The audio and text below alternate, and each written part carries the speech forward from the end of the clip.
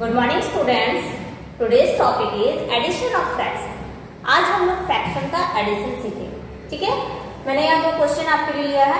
देखिए first question में ये सारे फ्रैक्शन कैसे फ्रैक्शन है? लाइक फ्रैक्शन के डिनोमीटर सेम है जब फ्रैक्शंस का डिनोमीटर सेम होगा तो डिनोमीटर का एलसीएम क्या होगा? वही होगा जो डिनोमीटर है। Ten ten ten denominator same है। तो हम लोग यहाँ पे डिनोमीटर टेन लिखे सारे डिनोमीटर को क्या करेंगे? आपस में एड करेंगे। फोर्थ क्लास में सीखा था। ठीक है? तो ये ऐड हो जाएगा eight three eleven and one twelve twelve by ten इसके बाद हम लोग इसको रिड्यूस करना सीखे हैं। ठीक है? तो हम लोग इसको रिड्यूस कर सकते हैं। सिक्स टाइम्स में टू से डिवाइड होगा ये फाइव टाइम्स में तो हम सिक्स बाई फाइव लिख सकते हैं इसको। This was the answer okay एक सेकंड एग्जांपल है यहाँ पे। थ्री और सिक्स है। जब हमारा डिनोमिनेटर सेम नहीं होगा तो क्या करेंगे? डिनोमिनेटर का एलसीएम लेंगे। LCM of three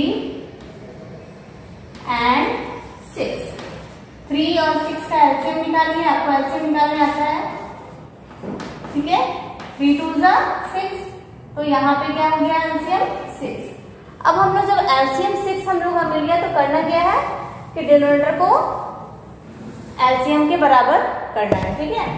तो वन बाई थ्री जो है इसको हम लोग डिनोमिनेटर को सिक्स के बराबर करने के लिए थ्री को किससे मल्टीप्लाई करेंगे?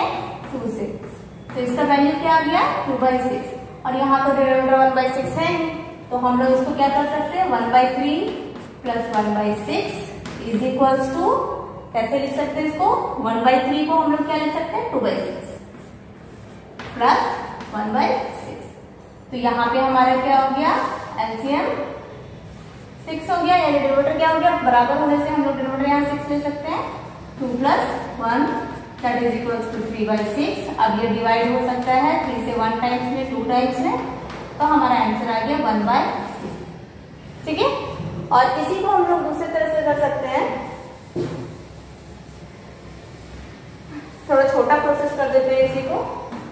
हम लोग एलसीएम निकाल लेंगे एलसीएम जब सिक्स आ गया तो यहाँ सिक्स हो गया। थ्री से कितनी बार में डिवाइड हो रहा है? टू टाइम्स में। तो जो न्यूमरेटर है, उसको टू से डिवाइड करेंगे थ्री से टू टाइम्स में सिक्स डिवाइड हो रहा है तो टू टाइम्स में। ठीक है? और यहाँ सिक्स से कितने टाइम्स में हो रहा है? वन टाइम्स में। तो न्यूमरेटर को वन मल्टीप्लाई कर देंगे। ठीक है? ये ध्यान रखेंगे, यहाँ हमने एलसीएम निकाला है थ्री एंड सिक्स का। एलसीएम क्या हो गया है यहाँ पे? सिक्स हो गया है। किसका? थ्री और सिक्स का एलसीएम कितना आया है? सिक्स ठीक है? तो जब सिक्स आया तो थ्री से हमारा ये टू टाइम्स में डिवाइड हो रहा है न्यूमरेटर को टू से मल्टीप्लाई किया हमने, और सिक्स से हमारा सिक्स जो है वन टाइम्स में डिवाइड हो रहा है तो यहाँ न्यूमरेटर को वन से मल्टीप्लाई किया। तो ये हो गया two plus one by six three by six अब इसको रिड्यूस करेंगे। One by two this was the अगर हमारा फ्रैक्शन जो है मिक्स में दिया हुआ रहेगा तो क्या करेंगे? ठीक है? जैसे two upon one by three three upon one by